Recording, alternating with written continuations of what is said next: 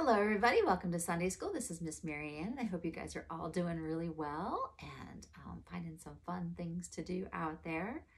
Um, obviously, I'm telling my story a little different today. We are doing the Godly Play version of the story because I think it's a little easier to understand the story when you see it um, than just hear it. So we're going to do that today. And our story today, we are uh, picking up where we left off last week. So we are in our Old Testament unit, also called the Hebrew Bible, um, the ancient stories that Jesus would have grown up with.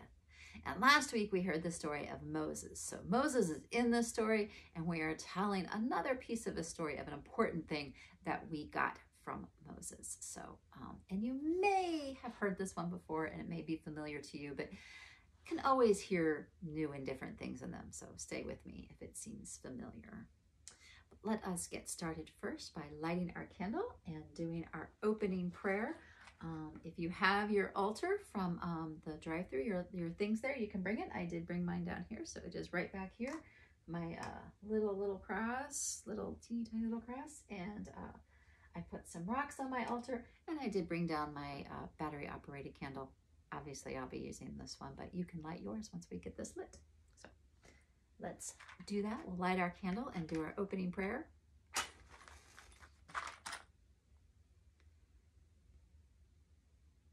There we go. Let's just take a second to take a deep breath and get ourselves ready to hear our prayer and our story today.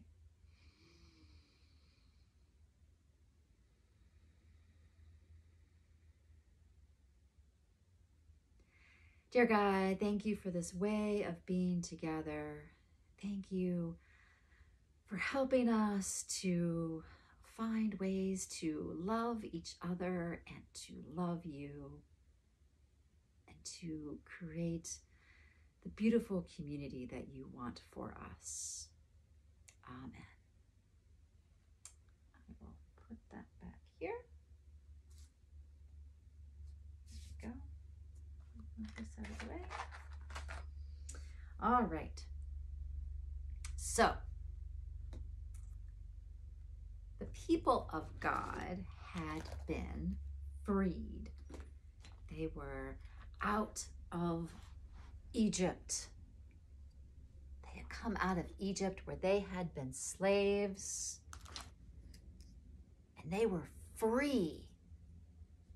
Moses led them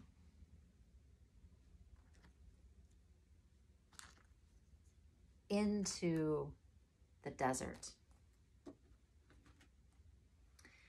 And life was hard in the desert.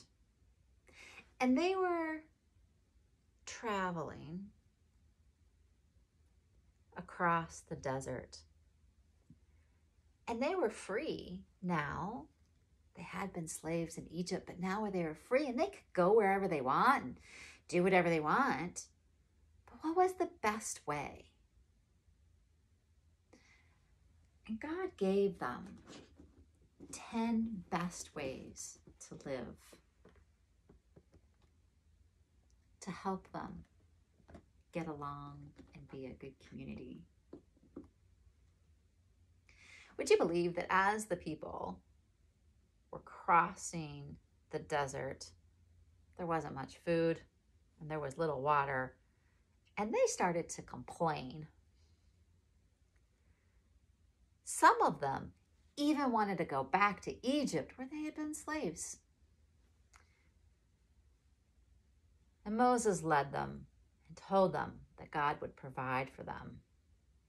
And during the day, God did provide. God provided manna for food, and God led them. They traveled by fire by night and smoke by day that God provided.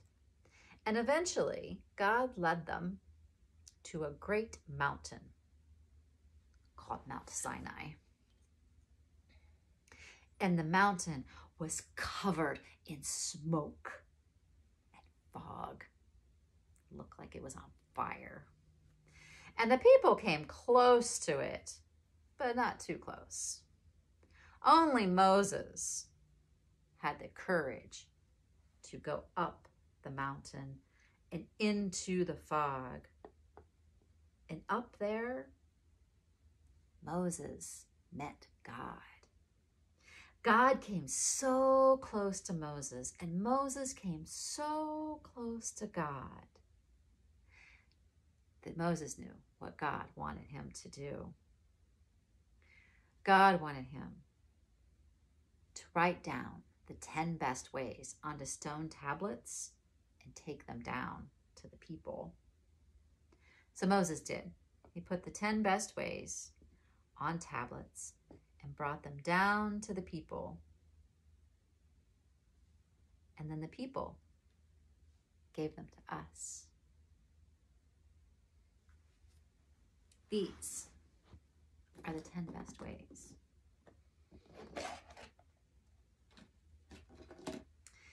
The 10 best ways teach us how to love God, to love people, and they help remind us that God loves you. God loves us. The first way is to trust God. The second is to put God first.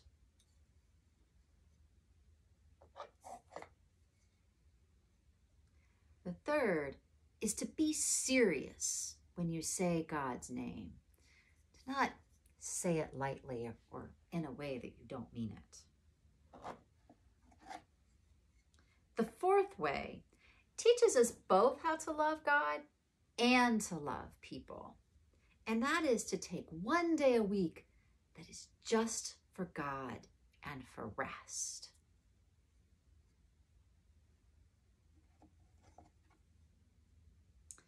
The fifth way is to treat your parents with respect.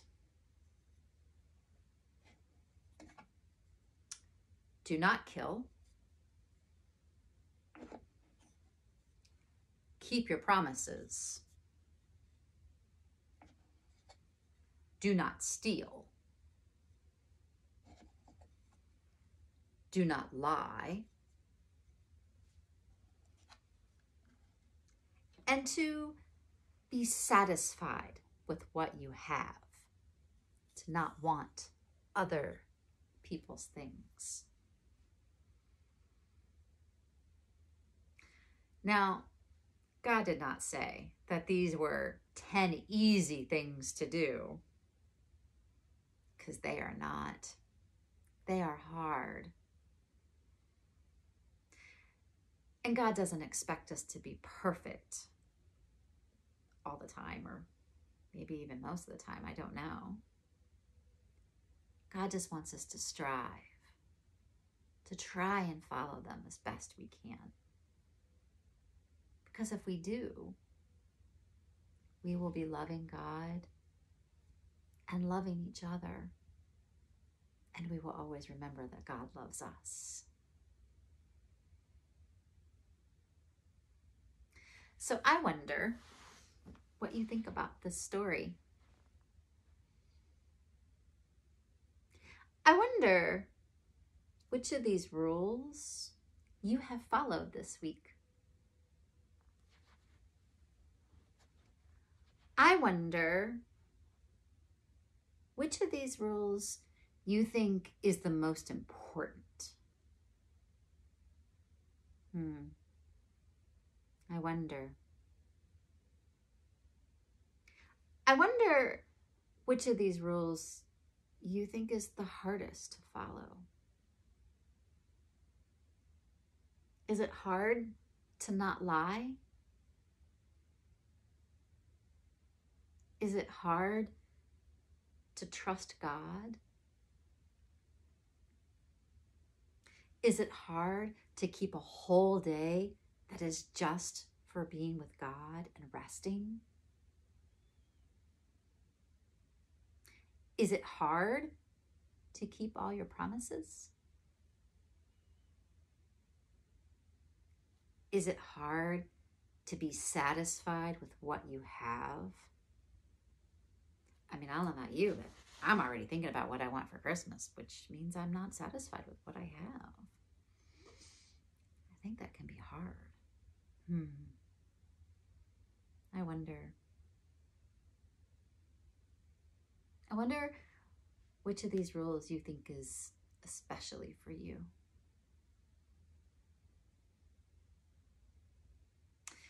And now back to our story part.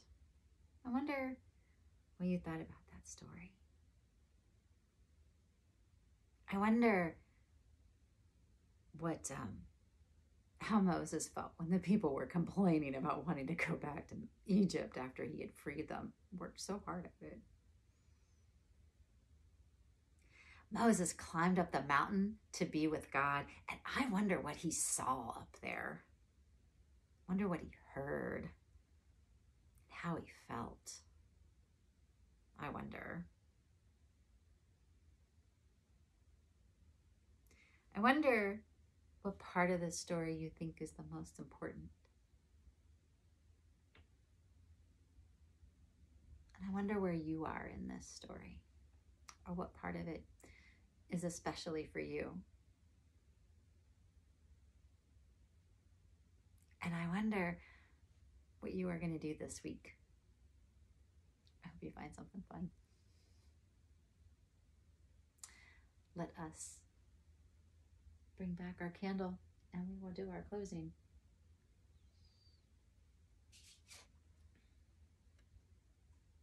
If you have your card, you can say the closing prayer with me.